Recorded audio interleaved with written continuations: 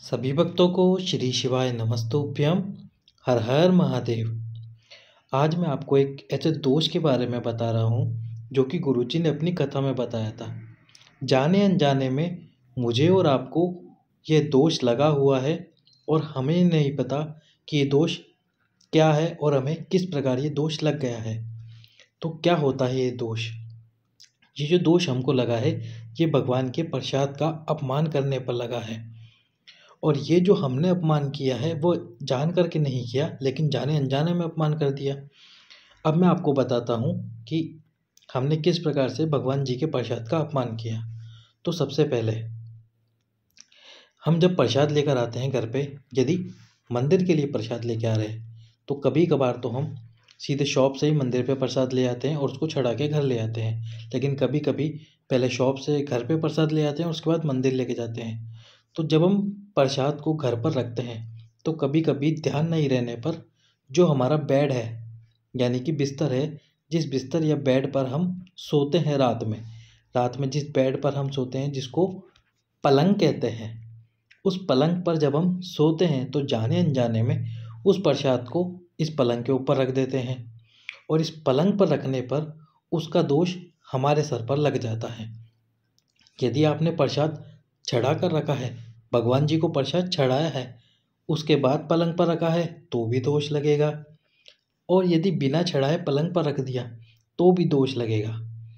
तो इसी दोष की वजह से क्या होता है, हमारे घर में लड़ाइयाँ हो जाती हैं, धन की कमी हो जाती है और कर्ज भी बढ़ता जाता है, पर हम समझ नहीं पाते और फिर हम न जाने किस किस के चक्कर में पड़ते हैं। तो इसलिए आपको इस दोष का, यदि कभी आपने जाने अनजाने में गलती से प्रसाद को पलंग पर रख दिया हो जान करके नहीं, लेकिन जाने अनजाने में प्रसाद पलंग पर रख दिया हो तो उसका आपका दोष लगा है।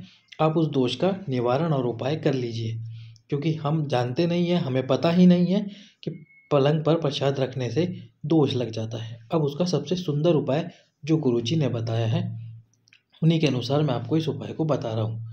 यदि मान लीजिए कि आपने मंदिर के प्रसाद को रखा है तो आप मंदिर में जाकर इसका उपाय कर सकते हैं। और यदि घर पर, जैसे कि आप, आपके घर पर जो मंदिर है, उस मंदिर के लिए प्रसाद लेके आते हैं, वो प्रसाद आपने बिस्तर पर रखा है या पलंग पर रखा है तो उसका उपाय आप आपके घर पर कर सकते हैं। तो सबसे पहले मंदिर के लिए समझ लीजिए, दोनों के लिए उपाय सेम है, बस थोड़ा सा अंतर होगा, जो मैं आपको भी बता दूँगा। तो सबसे पहले यदि मंदिर के लिए प्रसाद लेकर आए और आपने गलती से प्रसाद बिस्तर पर रख दिया तो आपको क्या करना है, मंदिर की जो चौकट है जैसे ये मंदिर की चौखट है। अब ऐसे शिव महापुराण में तो लिखा है कि लीपना करना है आपको मंदिर की चौखट पर। और लीपना तो गोबर से होता है। आज के क्रम में गोबर तो कहीं मिलता नहीं इतनी जल्दी से। और मिल मिल जाता है तो फिर हम, हमारे पास इतना समय नहीं रहता। तो क्या करना है? जो पोंछा, यानी कि जिस कपड़े से हम पोंछा लगाते हैं अपने घर में, उसी कपड़े से मंदिर की इस चौखट को लीप देना है, पोंछ देना है। जब आप इसको पोंछ दोगे तो पहुँचने के बाद में इसके दोनों हिस्सों, दोनों सिरों पर स्वस्तिक का निर्माण करना है। एक स्वस्तिक यहाँ बनाना है और एक स्वस्तिक यहाँ बनाना है। जब आप दोनों स्वस्तिक बना दो तो इन दोनों स्वस्तिक पर एक एक आपको सफ़ेद फूल रखना है। एक सफूद सफ़ेद फूल इस स्वस्तिक पर और एक सफ़ेद फूल इस वाले स्वस्तिक पर। सफ़ेद फूल रखने के बाद में आप भगवान से प्रार्थना कीजिए कि मुझसे गलती हो गई है, जाने अनजाने हो गई है, मुझे इसके लिए क्षमा कर दीजिए। तो यदि मंदिर के प्रसाद के साथ ऐसा हुआ है तो ये दोनों फूल उठाकर आप मंदिर के अंदर रख आइए। और यदि मान लीजिए कि आपके घर पे आप प्रसाद लाए थे, जो घर वाले मंदिर के लिए लाए थे, यदि उसके साथ में ऐसा हो चुका है, आपने गलती से रख दिया तो उपाय तो ये सेम टू सेम है, करना बिल्कुल ऐसे ही है। लेकिन जो मंदिर जहाँ आपका जिस कमरे के अंदर है, उस कमरे की चौखट पर, यानी कि उस कमरे के दरवाजे की चौखट पर आपको ये उपाय करना है। और जो दो फूल आप उठाओगे, सफ़ेद कलर के फूल, उन दोनों फूलों को आपके घर के अंदर रख लेना। उसके बाद इस दोष का निवारण हो जाएगा।